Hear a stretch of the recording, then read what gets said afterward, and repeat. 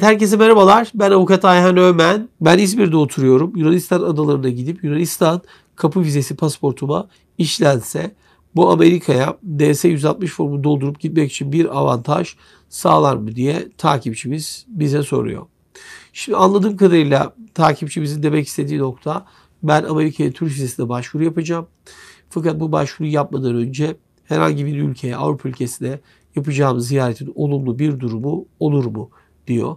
Tabii ki şimdi siz eğer Avrupa ülkelerine seyahat ediyorsanız Schengen vizesiyle o zaman bu Schengen vizesi alıyorsanız ve seyahat ettiyseniz bunun olumlu bir durumu olacaktır. Dolayısıyla Schengen vizesini alıp Avrupa'yı ziyaret ettiğiniz zaman Amerika vize başvurularınızda bu siz için olumlu hale gelecektir diyebiliriz.